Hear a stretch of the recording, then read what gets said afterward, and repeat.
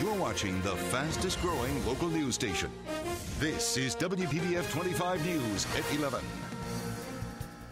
Only on WPBF 25 News, we're seeing the undercover video that prosecutors say shows the son of a Port St. Lucie councilman selling drugs. Good evening. I'm Victor Blackwell. And I'm Tiffany Kenny. Thank you for joining us. Jeffrey and Brian Cooper were arrested last month, accused of selling drugs. Their father, Councilman Chris Cooper, is also running for mayor. Alexis Rivera has the exclusive video prosecutors say shows him in the middle of that illegal act.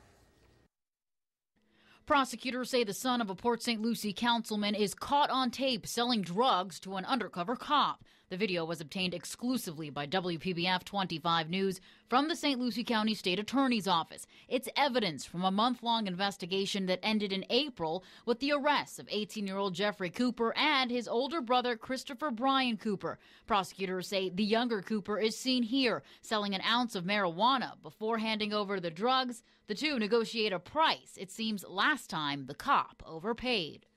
I was like, wait, nah, I must have miscounted. Count again. I'm like, man, here, you count that and tell me what's that. Counted like 120. Like, this gave me extra. Nah, man, my fault. Just 60. Cause Yeah, yeah. I owe you. That's true. Nah, man, my fault. and the way I look at it, karma comes around, dog. Hell yeah. Cause I mean, I done been robbed like five different times, man. So I mean, karma comes around, dude.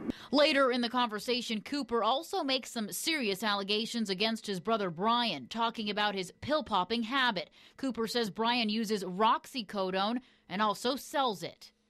My brother does Roxy's now. You like Roxy? I just flip them. I don't use them, but oh, I'll. say my brother just takes them. He be eating them. He can find them for like eight or ten a piece. Just he he normally he'll sell them, but he normally be eating them The undercover operation started after residents complained about possible drug activity around Councilman Christopher Cooper's neighborhood. Mark Braddock, a friend of the Cooper brothers, was also arrested. We have called Chris Cooper's home and business for his comment about the video. However, we have not yet heard back.